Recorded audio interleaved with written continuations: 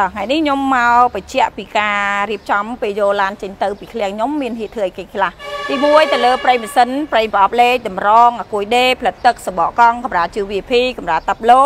និងមានការវាយរលងជូតបងមួយជុំហើយបញ្ជាក់ទៅលើការធានារយៈពេលមួយខែពេញទៅលើតួឡានទាំងមូលទាំងម៉ាស៊ីនប្រអប់លេខគ្រឿងក្រោមប្រព័ន្ធភ្លើងអាគុយ ABS និងម៉ាស៊ីនជែកហើយនឹងធានាការលក់ចូលវិញអត់បុកអត់កាត់តអត់ស្ងោដូរពណ៌ហើយប្រភេទឡានថ្ងៃនេះគឺចង់អួតទៅលើកាមេរីផងដែរហើយកាមេរីខាងខ្ញុំគឺមាន LE មាន XLE Hybrid និង Hybrid ខួប50ឆ្នាំអញ្ចឹងយើងមានទៅដល់4 option នៅប្រភេទកាមេរីមានចាប់ពីឆ្នាំ